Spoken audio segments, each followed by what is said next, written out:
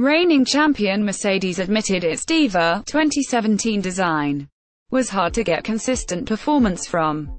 Ahead of a season in which it hopes its switch from Honda to Renault power will end its five-season drought, McLaren technical director Tim Goss said the team had prioritized making the car's characteristics amenable.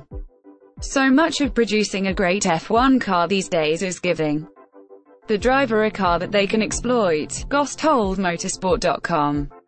There is no point in giving them a car with very peaky performance. What we are trying to do is give the driver something that operates very well over a broad operating envelope.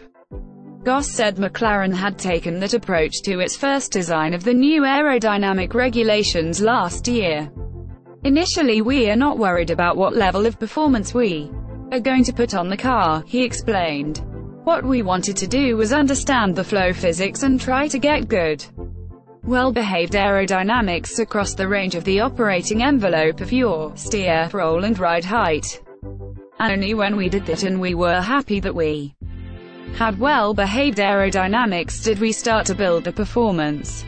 So our approach these days is very much about giving the driver something they can trust and work with, and peaky load is in our view not the way to produce a quick aerodynamic package for the driver, or vehicle dynamics change. Goss said McLaren had decided not to try to compensate for Honda's lack of straight-line performance with the low-drag 2017 designer setups.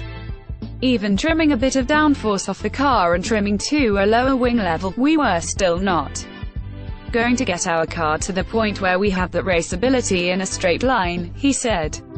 So our approach has been to always go for the quickest lap time and our tactics coming to a race weekend were to qualify as well as we can, and then aim to defend that position based on lap time.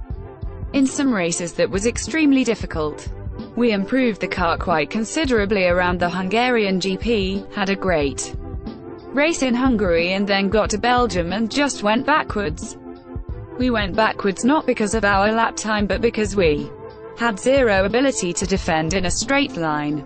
That period of Belgium, Italy was immensely frustrating because we knew we had car performance but we couldn't defend.